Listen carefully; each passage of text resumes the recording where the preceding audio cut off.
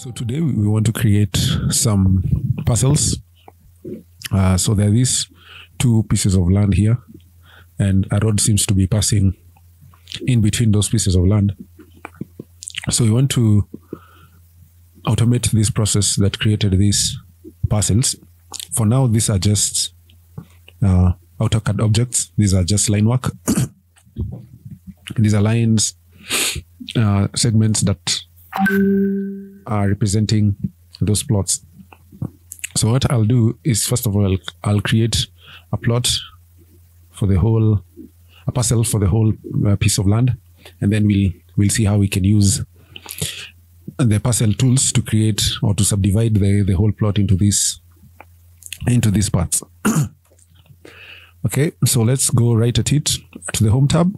We go to the parcels and we click on parcel creation tools.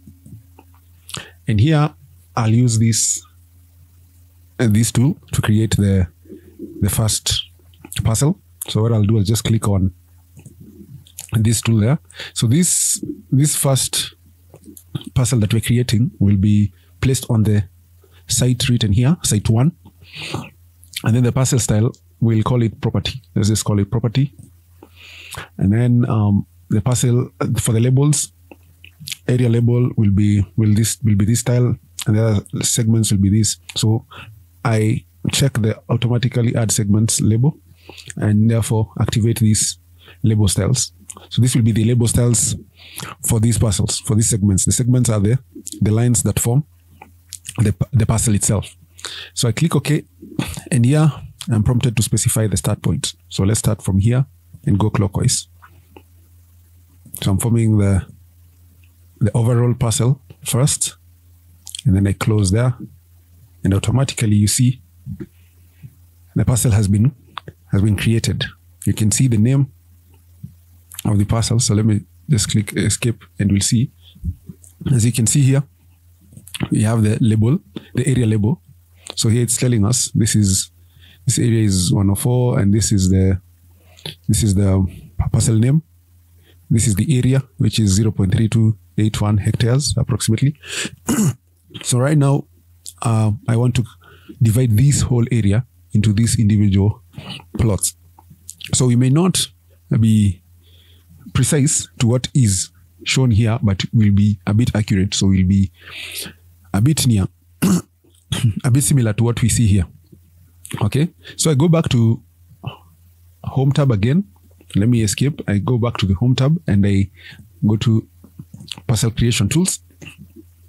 And now I want to use the a command called slide create to create those subdivisions. So I'll go here, click on slide create.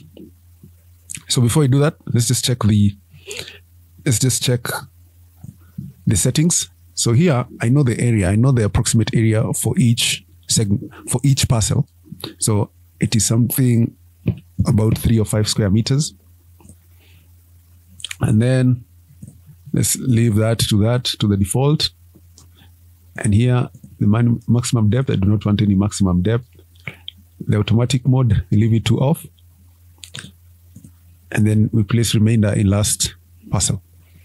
All right. So we are ready to start the the slide create.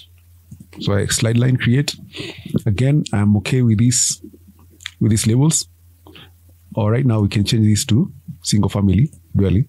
So this will be a different um, label for each parcel, different from the property label that we selected for the whole piece of land. So me click OK here. And then I'm prompted to select the parcel to be subdivided. So we already created that one. And then I am prompted to select start point on frontage. So this is the frontage. So we start there and we take it all the way to, to that place. And then we're prompted to specify an angle. So just type 90. It's 90 degrees perpendicular to the slide line. As you can see, our our parcel, our first parcel has been created. And if you're okay with that, we can now change this to automatic. But before we do that, we can we can first edit this this front this uh, maximum depths this front frontage width. So here we can put this to mile numbers. Then here we can put we can reduce this maybe to four.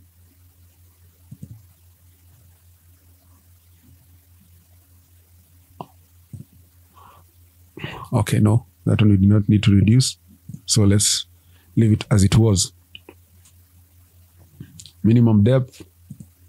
So this one also can reduce. Okay. So now that, that we're okay with this we can we can change the formation of the rest of the pieces of land or the plots or the parcels to automatic mode. So let's change this automatic layout from off to on and let's see what happens. As you can see it becomes quite near to what we want. So the remainder distribution let's see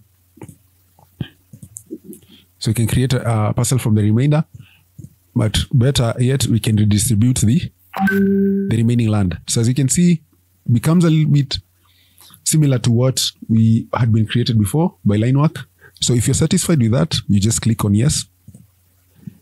And those pieces of land or plots are now created.